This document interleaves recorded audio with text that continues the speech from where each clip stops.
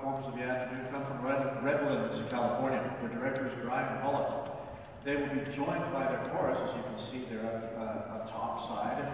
Would you please join me in welcoming to the stage the Redlands East Valley High School Concert Band.